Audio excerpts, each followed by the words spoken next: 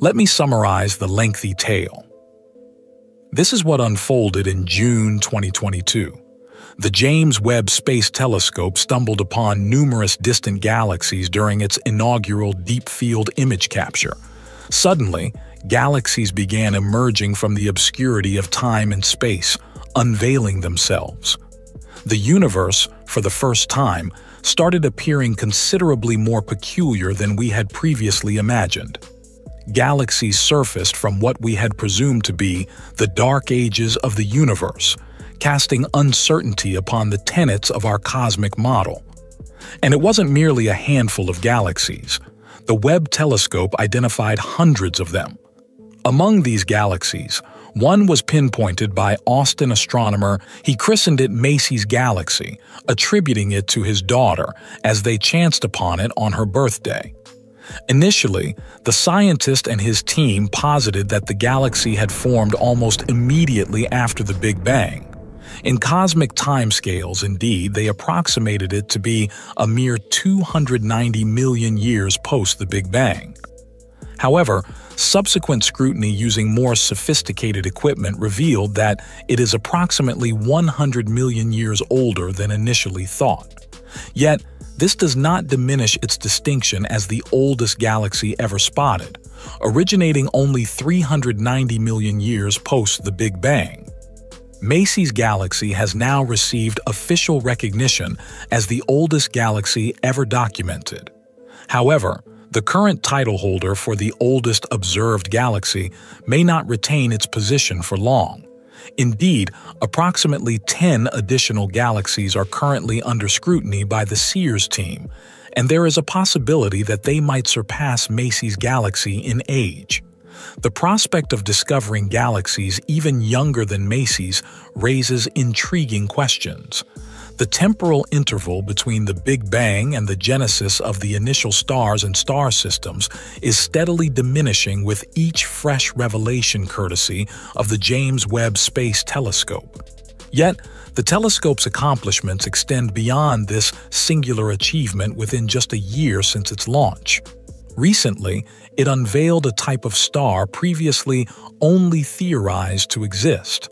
NASA's potent new celestial observer may have at last captured a glimpse of this elusive stellar entity. With this revelation, our comprehension of the cosmos undergoes a profound shift. The James Webb Space Telescope has identified three potential dark stars, sustained by particles of annihilating dark matter. Yes, you read that correctly. Dark matter, believed to compose the majority of the material universe, remains imperceptible to conventional telescopes. Our means of detecting its presence lie in gravitational effects, like the amplification of light when a massive galaxy passes in front of a distant star. Analogous to ordinary stars, such as our Sun, being fueled by normal matter, dark stars could derive their energy from particles of dark matter. This development is undeniably exhilarating and holds the potential to unveil answers to the profound questions we harbor about the universe. The existence of dark stars, if proven, could serve as a crucial element in deciphering the origins of light in the cosmos. Remarkably, for approximately 15 years, scientists have postulated that dark stars constituted among the earliest entities our universe generated when it was a mere 700 million years old. Webb's observations indicate that the three remote objects, hailing from the early epochs of the universe, exhibit key characteristics aligning with the concept of dark stars. These entities emerged just 300 million years after the Big Bang, yet possess the mass and maturity typically associated with galaxies billions of years old. Furthermore, their smaller than anticipated size introduces another intriguing facet to the cosmic puzzle. Here's where Fritz Zwicky's tired light theory comes into play. According to this proposition, the red shift we observe may not solely result from galaxies moving away from us. Rather, it could be a consequence of light gradually losing energy during its extensive journey across the universe. Initially, this theory contradicted our observations of the universe. However, as Gupta suggests, if we allow this theory to coexist with the concept of an expanding universe, we can reinterpret the redshift as an amalgamation of both these phenomena. But Gupta's contributions don't end there. He also introduces a novel idea rooted in physicist Paul Dirac's hypothesis regarding coupling constants. These constants are fundamental physical principles governing particle interactions. According to Dirac, these constants may have undergone changes over time. If we allow for the evolution of these constants, the time frame for the formation of early galaxies extends from a few hundred million years to several billion years. This could elucidate why the galaxies we observe appear more advanced than expected for their age.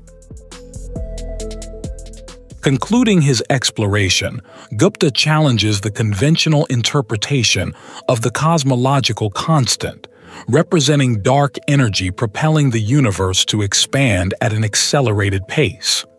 Instead, he proposes a new constant that accommodates the evolving coupling constants, this modification may aid in comprehending why early galaxies were smaller than anticipated and present a more precise depiction of the universe. In Gupta's words, our newly formulated model extends the time for galaxy formation by several billion years, suggesting that the universe is 26.7 billion years old, not the previously estimated 13.7 billion years. This revelation implies that the universe might be considerably older than previously believed, potentially shedding light on some of its most profound mysteries. Take, for instance, the most recent revelations from the James Webb Space Telescope, which has bestowed astronomers with glimpses into cosmic phenomena that elude straightforward explanation. The Webb telescope has captured light emanating from 44 galaxies that took shape in the initial 500 years of the universe. According to the conventional model of cosmology, which posits the universe to be 13.8 billion years old, the emergence of stars and galaxies within the initial 500 million years stands as a cosmic spectacle that defies complete comprehension. Yet, the narrative doesn't conclude here. Recent data derived from Webb's observations also discloses that the farther you delve, the greater the number of galaxies you encounter. In a meticulous 50-hour examination of the deepest realms of the cosmos, astronomers discerned some of the earliest galaxies to form immediately after the Big Bang. It becomes even more perplexing when one grasps that certain among these 40 early galaxies materialized a mere 200 million years post the Big Bang, not stars, but entire galaxies. It doesn't require rocket science to infer from this that the stars constituting these galaxies existed even earlier. Now let's delve into the more enthralling segment, Indeed, the Superstar telescope continues to be a source of astonishing revelations. The data gleaned from this observation discloses that these ancient galaxies radiated an extraordinary quantity of energy into the cosmos, 10 times more than what scientists had initially predicted. To comprehend this phenomenon, let's scrutinize the deep field image captured by Webb's MIRI instrument. This panoramic view of the cosmos showcases vibrant spiral galaxies in the foreground and an abundance of significantly older galaxies in the distant backdrop. Nearly all these entities are galaxies. Upon zooming in on three of the prominently red-shifted galaxies in the background, scientists uncovered that these galaxies were discharging unexpectedly immense amounts of energy. The data also implies that they likely formed within the initial 200 to 500 million years after the Big Bang when the universe was merely 1 to 5% of its current age. The pivotal question at this juncture revolves around how these galaxies emitted such an astronomical volume of energy into space. scientists are confronted with only two plausible scenarios the involvement of black holes or the presence of massive stars, surpassing even the scale of the red hypergiant stars prevalent in the contemporary universe.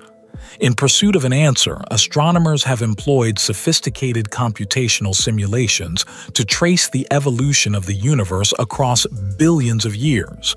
These simulations commence with the formation of the initial stars and galaxies, ultimately leading to the generation of fundamental organic materials conducive to life.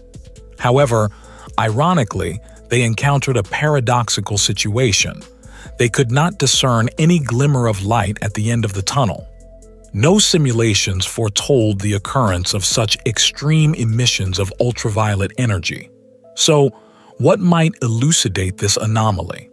Enter Rajendra Gupta's model. Scientists are diligently scrutinizing Gupta's theory, and in the not-too-distant future, we anticipate unraveling the authentic mystery underlying the origin tale of the universe.